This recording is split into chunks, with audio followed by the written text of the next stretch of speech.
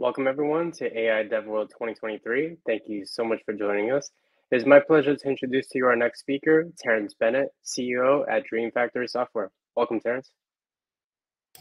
Thanks, Eric. It's great to be here. Hi, everyone. Um, thanks for attending. Um, my name is Terence Bennett, CEO of DreamFactory Software, but we're actually we're not going to talk about um, DreamFactory, nor are we going to talk about actually embracing API generation. Um, when I started actually really uh, digging into the data uh, to to think about you know how, how, I wanted to structure this, I I went to Postman's 2023 State of the API report, and um, and I came out of that discovery phase with um, with sort of a new a different presentation. Um, so I'm calling it uh, API generation DevOps for APIs. And so let's jump into that. Um, so the intent here is really to explain, um, convince perhaps that API generation is is really a DevOps automation tool for APIs. And so uh, I don't think I need to explain what DevOps is to this audience, but you know this is sort of a smorgasbord of of different tools out there, from Jenkins and Docker to um, to Terraform and, and Datadog all these different tools help developers, frankly, with automation, right? With um, with uh, either being able to scale things that otherwise would be hard to scale, or being able to track things that otherwise would be hard to track. And um, and I think this community, this this sort of category stands out by itself because so often automation turns into a conversation about no code or low code, and inherently DevOps tools are technical, right? They're often um, it really requires someone who's deeply technical, like a senior architect, to ma- manage some of these tools, because what's going on in the background is so technical, and I, that's sort of why I think API generation um, fits into this category. It's, it's, a useful way to describe what we're doing. So let, let's actually start with the data and talk about what what I found. Um, this was the first graph that really jumped out at me. The obstacles to producing APIs. Um, I'll give everyone a chance to just kind of skim that list, and then we can dive a little bit deeper. Um, the top five are lack of time, lack of people, lack of API design skills, lack of documentation, and lack of knowledge. And uh, lack of time and lack of people kind of sound like the same thing. And depending on how you think about it, they could be. Um, perhaps lack of people actually means lack of the right people, which kind of then immediately falls into this category of lack of API design skills, because that's one of the sort of the hot the hot skills that's needed for for building APIs. And I have an asterisk there because um, any organization organizations over I think it was a thousand developers um, actually describe API design skills as the number one obstacle to producing APIs, which is kind of interesting and a bit of a side topic. Uh, lack of documentation, which kind of I read as um, lack of clear and uh, and up to date documentation, which means that developers having to go back and kind of relearn, rediscover what um, what this API does, how it works before they can they can work on it. Lack of knowledge, right? Um, we all have sort of been somewhere where there a developer uh, who built something leaves and no one really quite knows how to how it works, how to use it, and, and, they have to go through the process of trying to figure that out, right? Which is unpleasant. Um, so all these topics are going to be sort of top of mind as as we move forward. The next graph is this um, APIs as products, right? And and the summary of it is that more than half of companies surveyed views view APIs as products. So I think speaks to the incredible success that the API design movements found. Um, is this sort of fantastic, I think, um, example of that and how it's sort of grown over time. Um, and it, it speaks to how organizations are building teams, kind of like how they build a product management team, right? They're building uh, building not APIs not just with developers, right, but with um, with designers in mind, with sort of the product management type um, roles, but also processes as well. And the reason this is is because revenue, right? Almost half of companies surveyed, roughly half of companies surveyed, received 25% or more of the revenue from API uh, monetization, right? So roughly half of companies are seeing 25% of their revenue from from APIs, right? That's that's pretty huge. And when you start producing revenue, you get people's attention, you get leadership's attention, you get the board's attention, and uh, and there's going to be increased scrutiny around what you're doing and how you're doing it. Um, also, increased resources, right? And so, um, uh, so so sort of that's key, right? And and so feeding into that, right? Um, th- this is a little bit sort of feels almost a little bit counter to it, right? But you're seeing the rise of private APIs as the pro- as a proportion of the projects that teams are working on. So up from 58% last prior two years. Um, survey respondents said that 61% of the projects they're working on are private APIs, and that's opposed to um, partner APIs and public APIs. Kind of generally speaking, a private API is an API where um, you or your organization is on both the sort of producing side and the the recipient, the consumer side, right? So an API that's serving data to a front end developers team that's building, let's say, a dashboard or building like a, a customer portal. That'd be a private API, or maybe an API that's just moving data between systems or across um, environments through firewalls, whatever, right? Um, meanwhile, public APIs constitute 14% of an organization's APIs. So we just talked about how 25% of revenue, roughly half of companies, is coming from um, API monetization. Those APIs are inherently going to be public APIs. Maybe not in all cases that they could be sort of partner APIs, right? But um, but they're not private APIs. And so private APIs might be sort of under the like in, in the background, and they might be part of the infrastructure that's that's powering those public APIs, but nonetheless, they're not public and they're not directly generating revenue. Also, the documentation and the consumption is going to be um, someone outside of your organization, right? So, so this is really interesting, and and and it paints a really fascinating picture for what we're seeing across the um, the uh, the ecosystem. So this all kind of builds onto this this idea of DevOps for APIs and what API uh, generation is.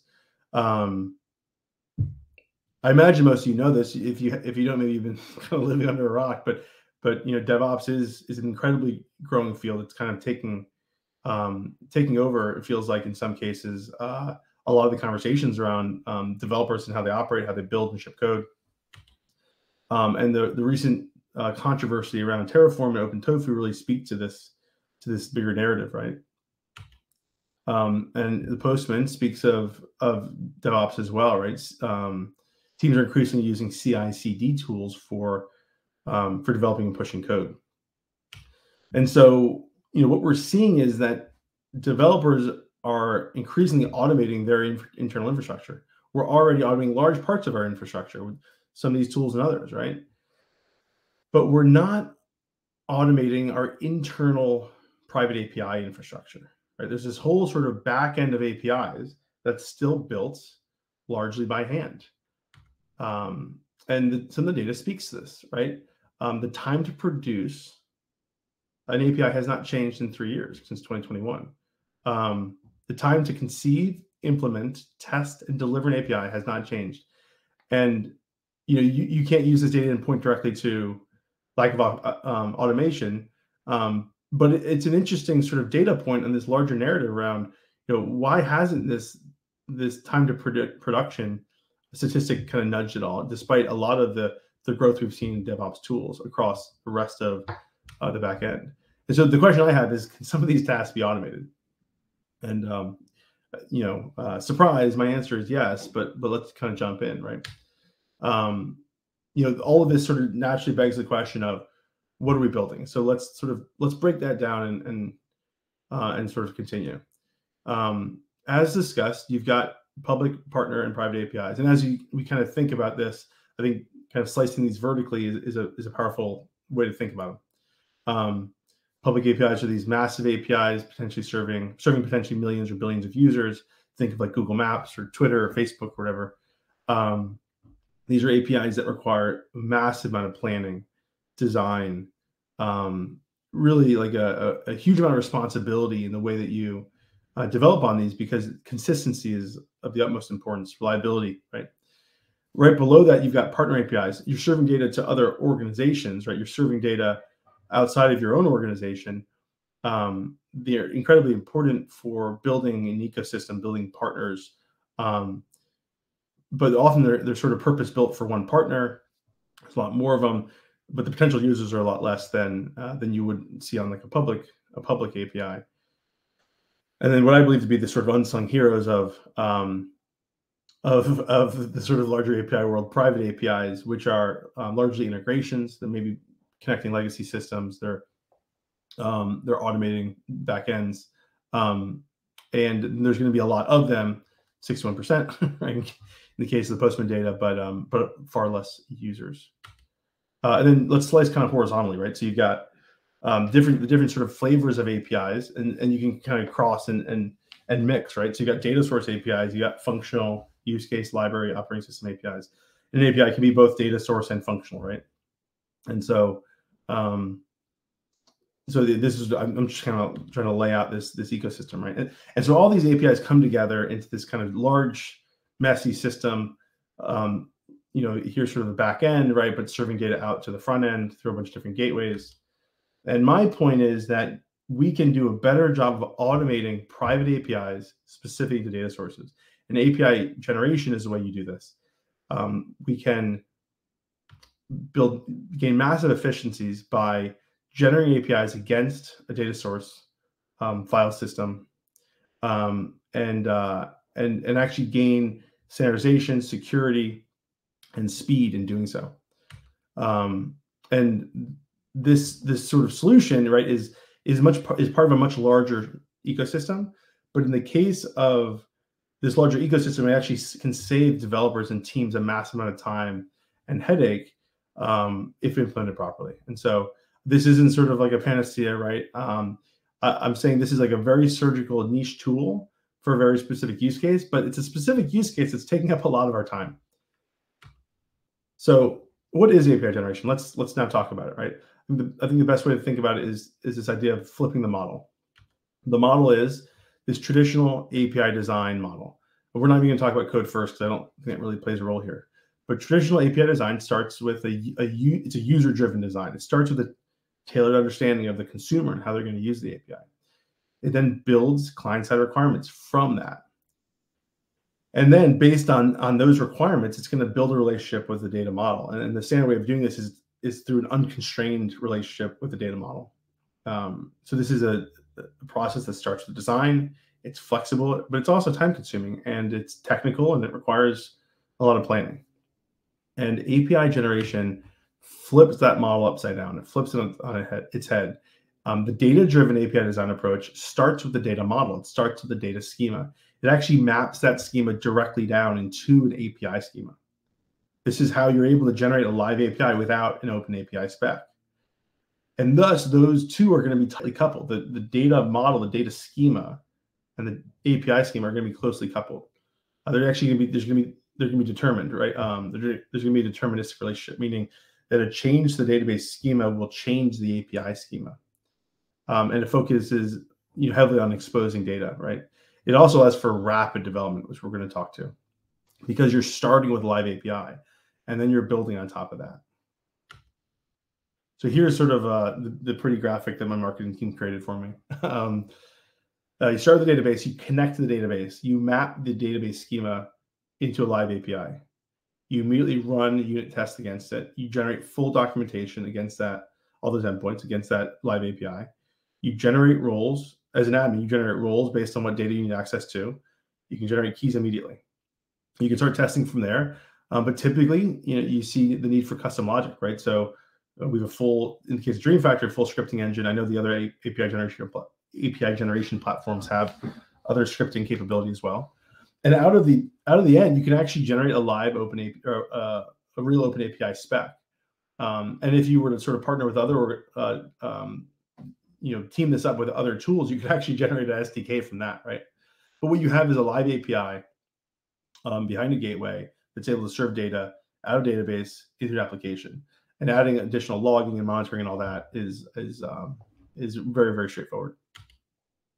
Um, so let's sort of discuss the trade-offs. I don't love the idea of pros and cons, but I think it's a, a useful way to think about it. Um, the pros are speed, standardization, and security. You're working with a well-defined data model.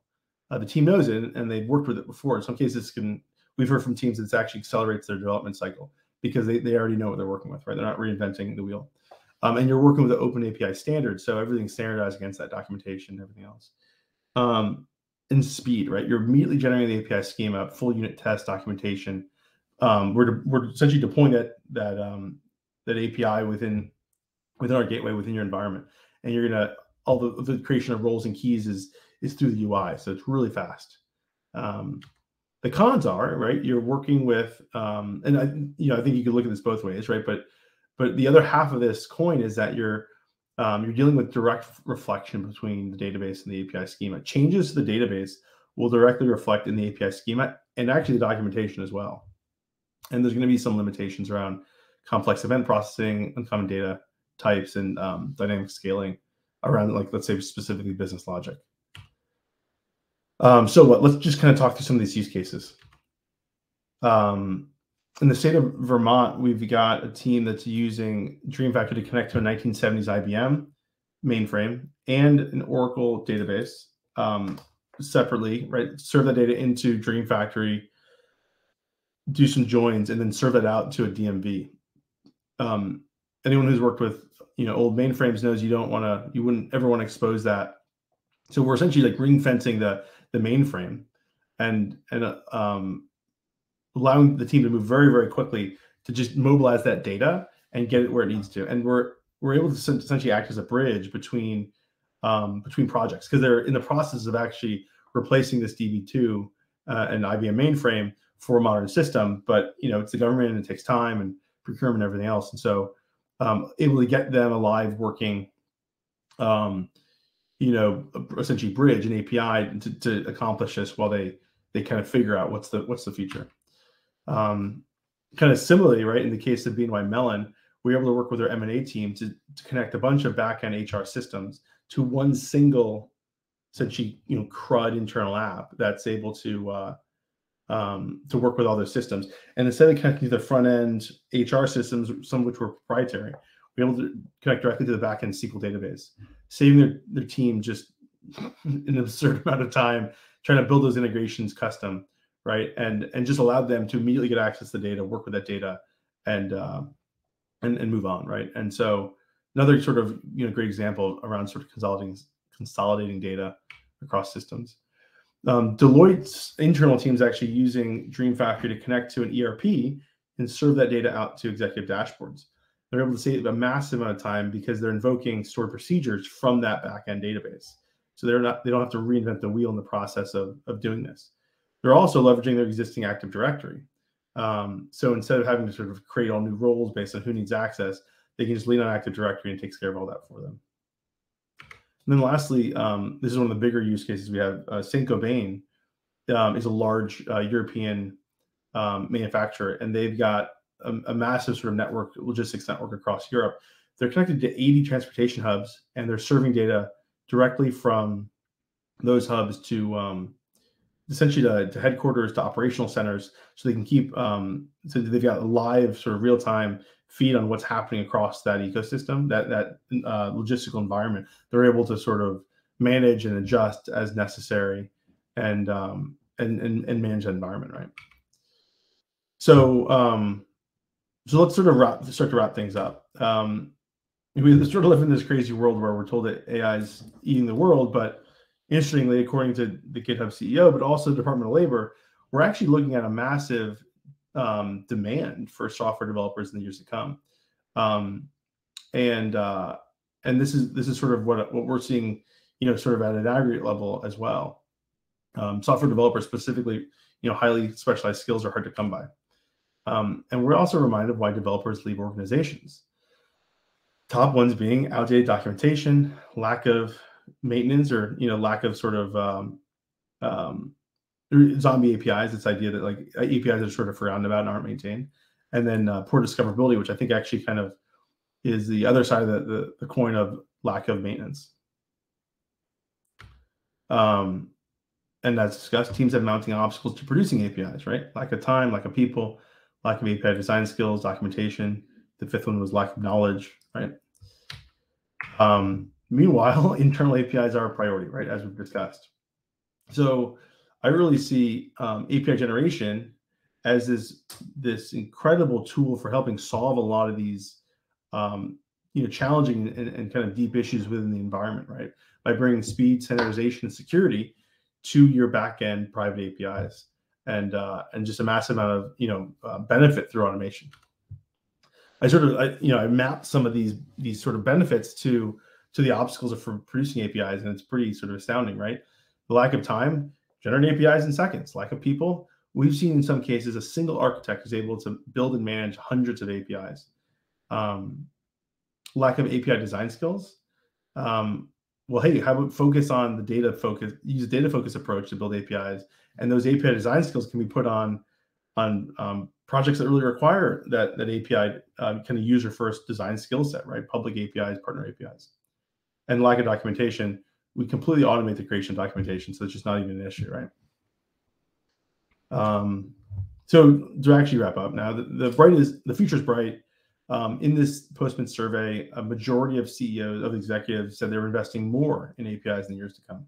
So we're in a really we're kind of in a special place in the in the tech ecosystem right now that's seeing a lot of growth, seeing a lot of investment, um, and uh, and I believe that um, there's a real important place for automation um, in a lot of a lot of uh, organizations because uh, it'll allow teams to to essentially do more with less, right? To to scale their teams in a responsible way that allow them to apply those those sort of highly valuable kind of um, um, rare skills on the projects that need them most, and I'll automate the ones that they can.